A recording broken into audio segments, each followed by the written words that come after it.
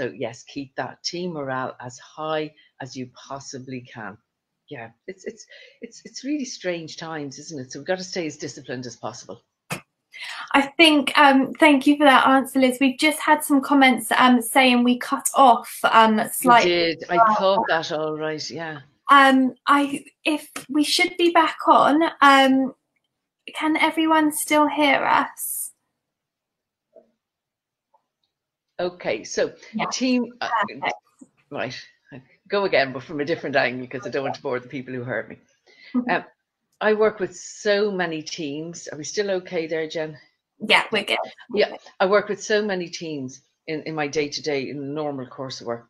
The one thing I continually hear from your teams is what does she expect from me?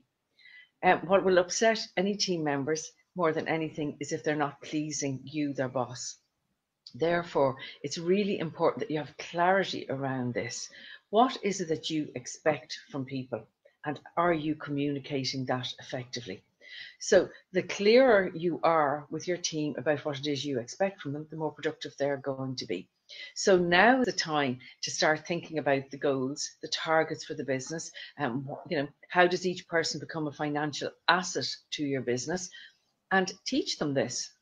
Explain it, clarify, use your little weekly meetings to do this so that when people, when you reopen, everybody working with you knows what you expect from them. In conjunction with that, then you also have a look at yourself and your own management skills and your own performance management skills. Do you need to improve? And if you do, be, be ready for that as well. So use this time to make sure that when you reopen your doors, your team know exactly what it is that you expect from them. That will keep morale, morale high. The most successful salons that I see are the salons that everybody knows what's expected from them, have everything in writing, and um, have most have lots of regular meetings where communication is good. So use this time to reposition all that. Brilliant. And um, when we're back into the salons, um, how about customer service? How should we be approaching that um, when we're back up and running? Customer service, and those of you again who, who've worked with me know that I bet everything I do is based around customer service because much and all as we love our businesses, you know, unless the money is right, there is no business. So customer service, if we get the customer service right, the money will take care of itself. So I, do, I know I talk about sales quite a lot, but actual fact, if you approach this from how can I help? How can I help? Every single client, how can I help? How can I help? As opposed to have to sell, sell, sell. People will always want to buy from somebody who wants to help. That's it. And so customer service, I see in salons a little bit of grey area around customer service. But you know, you've got to have the competitive advantage in your locality, in your area, and customer service is going to give you that. Now, everybody has to be on the same page. You can't have one or two people providing one, one level of customer service and three or four on a completely different page. Again, I think this is something you could use your weekly meetings for and revisit the customer service. Very often, I meet people in salons who think their job is just come through no fault of their own. This is not a criticism. They hmm. come in in the morning, they check the appointment book, they see what services are listed for them, and they think, well, right, I'll just do those services and that's my job done. It's not your job done. That's just what you do. Your actual job is really to create and to build a client base. And you do that through providing outstanding, effective customer service. So if you're the owner or the manager, you need to teach your team how to improve their customer service so that everybody is wowing the customers. In my book, 30 Days to Beauty Business Success, this is not my phrase, but it's one of my favorite. Um, I have a little phrase in it, it's a little quote from, from Maya Angelou, an American writer. People will forget what you've said, they will forget what you've done, but they will never forget how you made them feel. So it's really important that you connect your customer service up to make sure that everybody is just wowed in your business and there is no room for error here because we're all only as weak as we're all only as good as the weakest link so there's no room for a weakest link you know we are going back the money you've lost during the lockdown is gone it's gone it's not coming back so you mm. just have to you know really make sure that when you open your doors every single client has a financial positive impact on your bottom line And we don't want to be putting your, your, your team members under pressure to achieve this. They will achieve it through outstanding customer service. So everybody needs to know the importance of customer service. Oh, yeah. that's it's your point that quote as well is it's so true. And i think it's definitely something we can all have in the back of our minds when we go to reopen. Always. The mm-hmm. last salon that i had um, and i left salon work in 2006 i, I um, moved to doing this work. But the last salon that i had i had a goal every single day with every client that i wanted each client happy leaving looking forward to coming back and happy to recommend me and if I didn't tick those three boxes with any particular client, I wasn't doing my job right. No. and as well, um, following on from that, and once you you've got the you've got your customers in the salon and the customer service you provide there, um, but marketing wise, um, and promoting your business, um, what how would you suggest salon owners go about doing that, either pre lockdown, um, or when we can go back out again? I think, and thank you for mentioning this, I think this is probably the most critical activity that mm. people need to be um, engaging in at the moment. That's why I'm saying take the health and safety, figure out what you need to do, do it, and, and now move on to, to driving your business. Um, the reason marketing is so important um, and that I can stand over this is because history has demonstrated down through the centuries, literally, that whenever we hit a global or even any sort of downturn or recessionary times, the companies that continue to market are the companies that absolutely thrive when it's over. Our doors are shut right now. If people are retailing, selling vouchers, that's as good as it's going to get. But you are closed for services. But mm. you have got to stay in front of your customers. You've got to ring fence them and you've got to stay in touch with them.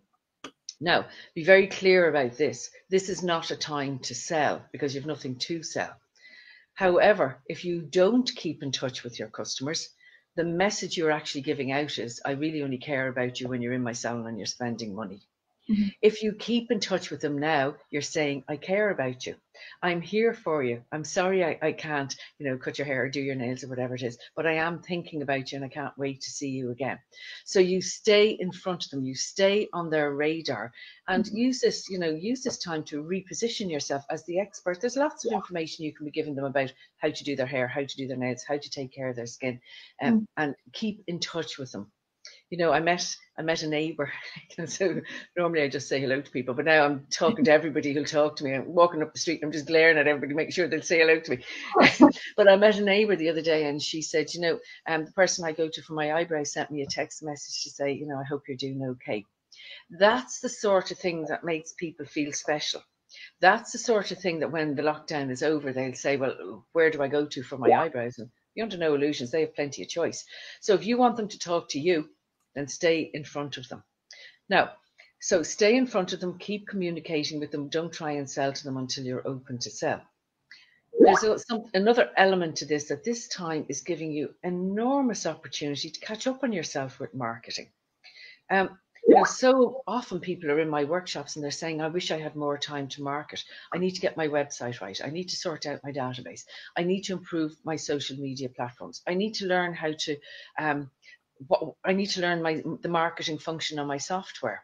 Mm. Make a list for yourself and do all of this during this time. Like if you spent an hour a day every day for the next couple of months, you know, it's going to go on longer than we would originally have liked. But if you were to spend an, an hour a day every single day working on your marketing, you know, you work on your marketing, you upskill your team, you know, you're, you're not going to have any white space. Or you can sit, or you can sit, you can sit, at, you can sit at home and look at, you know, westerns or something on the television all day. But please, you know, don't do it to yourself. You can't, you know, if you the one thing you cannot do to yourself, and and, and this is just like self-sabotage that is not acceptable, is that hmm. when the doors are reopened again in September, October, whenever it is that you say to yourself, I'm drowning. I wish I would have just used that summer time much more wisely. I wish I would have attended to working on my business then. This time is gold in one way, so so please use it. Yeah. So marketing is critical, absolutely critical. Yeah. I've just seen um come in there. Um, always treat people and your clients how you would like to be treated, and I think that's key, especially at a time like this. It's everything, and yeah. um, you know, I don't do services anymore, but I spend most of my life in the normal course events in salons, and I, I am the client quite a lot now. And you know the difference between somebody who's giving you 100% attention and somebody who isn't. And you can just sense it from the person. And if if you're not getting that 100% attention, you're not coming back. No, no, just not. Yeah. So you must treat you must treat people. Yeah.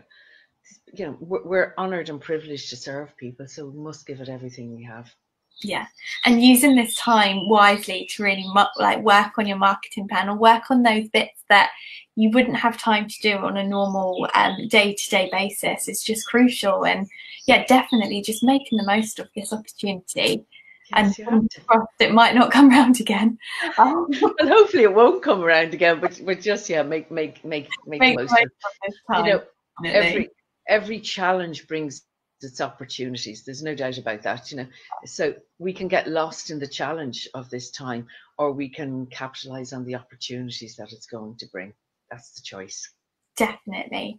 And um, with working um, from home and kind of setting out a plan of what you want to be working on at the moment, um, how would you set priorities and timelines and recovery operations um, in place ready to go back? Okay, I, I have a little complaint for everybody. You don't use me nearly enough. You've got to use me an awful lot more. Um, my website is lizmckeon.com. And last week I put up, um, uh, I developed a business plan for you. Now, these are all free resources. So go onto my website, download the, the, the business plan. That will give you a good starting point. When this all, this lockdown situation started, um, in, in March, I was, you know, very adamant about my message, which is work on your business, not just in it. Now we have the opportunity. And several people, exactly what you're saying, Jen, messaged me and said, like, Liz, I don't know how to work on my business. What will I do? So I spent a whole weekend and I developed a 14 day podcast series. And again, that's a free series. And it literally is every day. And I have to apologize to people on it, you know, from all over the world to say, I'm so sorry you're going to have an Irish accent at the end of this, but please work with me. so the, the idea is, is that you take your notebook 15 minutes a day and do one, do one podcast a day. And at the end of the 15 minutes, I'm giving you your to do list, or you will have developed your to do list. So work with me um, that way because I know you can get overwhelmed with it. I've so much to do. Where do I start that you do nothing? Or else you, you just, you know, just you know, over, just do too much. So they're the two resources that I have that I'm suggesting you work with. Your business plan so you can redefine your strategy, your my 14 day podcast so you can clean up and tidy up your business. So um, that's what I, that's what I have. Now I know people, you know, there's all sorts of webinars and all sorts of things where we can upskill and learn. So so much to learn and to do. And I think you need a discipline so my discipline, for example, is every morning I do my my Facebook live at 9:15 and I do my Instagram live at 9:30. And you know, I have to say when I started it, it was it was to make sure that I was out of the bed with the makeup on. I know the hair is not I can't do nothing about the hair, but with the makeup on and I am ready to go at my kitchen table every morning at 9:15. So we still need discipline. And we we all work in environments that are highly, highly structured. And without that structure, we're a bit lost. So I developed those resources for you, so please use me. Just go onto my website, lizmckeon.com. I think as well the importance of having structure in a day Everything. so important. So important. Get up at the, the same time, um, stick to a routine, and then really put in your action plan of what you want to get done that day you know there's another side to this and, and routines are critical in this because it stops this happening. You know if, if you're running a business you are the engine you know you, you are the life force behind the driving force and the life force behind that business. So it's really important that you keep yourself positive and in a, in a strong you know and, and very strong mentally. And that's and emotionally and that's very challenging right now. And a routine is, is is definitely the way to, to keep yourself strong and well health, you know, healthy mentally, emotionally, every way. Yeah. So routine. Yeah. Oh, well, before we end and before we take any questions, if you do have any, please do drop them down in our chat box um, to the side and we will answer those for you. Um, but if, um, Liz, if you would just like to sum up a couple of just key points, um, maybe one to three points of how your best recommendations for putting that confidence back in. Right. So, in terms of the confidence, just to recap, don't start drowning in the health and safety thing. Get the professional help that you need. Go onto my website, onto my blogs, get the health and safety details and get, get the contact and get expert advice. So that is definitely one thing. The second thing I'm going to say is take care of yourself. You know, make sure that you use this time to sleep well, eat, eat properly. Be very careful that you don't overindulge in all the media thing. You know, um, I, I'm nearly kind of forgotten about. I, I stopped watching the news because I just found it, it was kind of bringing me down a, a little bit. So um, I think just focus on keeping yourself, find out what you need to know. But while the virus is being spread physically, the media is spreading it psychologically, and and that's fine. That's their job. But just be mindful that that that doesn't overwhelm you. So health and safety, get that sorted. Um, take care of yourself, eat properly, sleep properly, get out in the air, all of those sort of disciplines that sometimes as salon owners people don't really get get time to do. And thirdly, start working on your business. Really focus on your business with a routine and um, with your to-do list, with your team, and get ready for your rise again moment and your comeback. Brilliant. I love that rise again moment. Yes, it's coming. it's absolutely coming. So, you know, do yourself justice and be ready for it. Yeah. We've had um, we have a comment here. Um, so we have a college student um, and she's been watching all of our PB webinars. Thank you so much. And we hope that they're helping you. Um, but Liz, what advice would you give her um, to get ahead of the game um, when coming out of lockdown? Is there any um, secret tips and tricks that you can share with us? So just to clarify, this is somebody in college? Yes. Okay, right. Um, and sometimes I work in, in the colleges uh, teaching people how to, how to get jobs. And perfect. I think my biggest advice to anybody in that situation is study and learn now how to become a financial asset in any in any salon you know you will you know you will learn the skill of how to do the services how to do the treatments what does any employer want an employer wants an easy time so they want somebody who's well behaved, can do their job, but also can build a client base and can become a financial asset in, in the business. So again, lots of free resources um, on my website about that. So I think if you can present send a CV, send a letter to any to any employee and say, give me a chance, I will make money for you. They will talk to you. A great way to go in as well, isn't it? yeah, let me let me make the money. Definitely.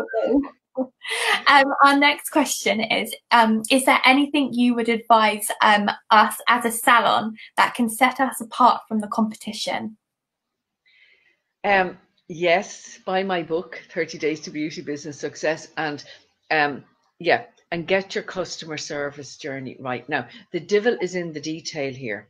So the more detailed you are on your customer service journey, the more you're going to wow people. So um, I suppose the first thing I would say to you is you don't get a second chance to make a good first impression. Okay? So you will have clients who were regulars coming back, but it's been so long, it's like they're new clients. You will have new clients coming in who've never been to your business before, who are giving you the opportunity to, to try them out. Now, I would work with you and your team um, to figure out how do we wow our customers within the first seven seconds. You get seven seconds to make a good first impression and and that's just it. And um, in within those seven seconds, people will make one of three decisions. The first decision is that they like the person they meet, therefore they like the salon. Yeah. The second decision they make is they don't really like the person, and therefore they don't like the salon and they will come once and they will never come again. The third decision is that well, they don't really care about you because you don't really care, seem to care about them. And they're equally as dangerous as the client who doesn't like you. So um, there's a direct correlation between the person that we meet in the salon and how we feel about that business. So if you want to differentiate yourself and be better and have that competitive advantage in your locality, that would be my first thing. Make sure that the first time somebody phones you, they're wowed. The first time they walk through the door, they have that feeling, um, oh, I really like it in here. You know, as customers, we make our mind up whether we're coming back long before you put a finger on us at all. We know well in advance of that. So that would be the, my starting point in your customer service journey. Get that initial first impression, uh, smash that one. Yeah. Okay. Um, and we have another question coming okay. from book, um, which is great. So it's great to have um, our watchers on the live stream as well. Um, so she, they are asking, how do you envisage home salons opening? Um, so this is obviously a one-on-one appointment, um, but it's in that person's home. So so how how would you advise that they go about that? Um, I don't see any difference between that uh, and a high street salon. Mm-hmm. And I and I would be applying the same rules. You get the professional help. This is too serious. We cannot figure it out ourselves. Um, if you're a home salon, you know clients still expect you to be very professional and adhere to all the guidelines. But there are so many guidelines. It's hard to you know we couldn't possibly figure it out ourselves. I, I'm still saying go and get the professional help. Yeah, definitely. Yeah. Same if you're mobile. Yeah. Yeah, yeah. I think yeah. we having that advice, um, you just it's it's the best way to move forward. It's the only way. It's yeah. the only way to keep yourself safe and and your customers safe. Yeah. If we have any more questions um, before we wrap up, Liz, is there anything else you would like to tell us or share with us um, before we leave you today? Well, I think I'm just going to go back to use me a little bit more. My website is lizmckeon.com. Um, join me in the mornings, 9.15 or 9.30 for my lives. Um, go onto my website, sign up for the newsletters, and you'll get, you know, we will send you all the free resources um, to keep you busy because I hate to think of you not being busy. Um, so that, that would be my main thing. Of please stay working on your business. Stay in control of what you're in control of. You're not in control of the of the virus, of the economy, or anything else, but you are in control of getting ready for your comeback. Brilliant. Oh, thank you so much for joining us today, Liz. We really appreciate you taking the time My out. pleasure. Thank you, Jen. I think I think you have another little career there, Jen, oh. interviewer. oh. well, well done. Well done. Thank you. Hopefully, we'll get Karina back. This um, we'll have to look at different connection options. We've many different. We've tried Zoom, we've tried ClickMeeting platform, um, but but we will get there. you were there. You did great. Oh. well, we'll speak to you soon, Liz. Um, and yeah, we'll, we'll, be in touch. And if anyone would like to um, ask any more questions, if you're watching this back um, on our Facebook or on YouTube at all, um, you can always in, um, email us at info at professionalbeauty.ie with any questions at all, um, or comment in the comment box, and we'll pass them on to Liz. Um, and if you just if you anything else at all, just let us know, and we'll be there to help. Um, we have also put together um, a coronavirus resources list for you. Um, so this will be going live on um, our website today. So that's professionalbeauty.ie, and we'll have all of our coronavirus um, resources available for you. So that's anything from news articles that we've featured recently to latest updates to all of our webinars that that we touch upon, any kind of advice for you or information. Um, so we will post a link on our Facebook as well, so you have access access to that this afternoon. Um, but if there's anything else you'd like to hear from us, do just let us know. Okay. Brilliant. Well, thank you, Liz, and we'll see you soon. My pleasure. Yeah, we'll see you soon again. Thank you. Bye. Bye.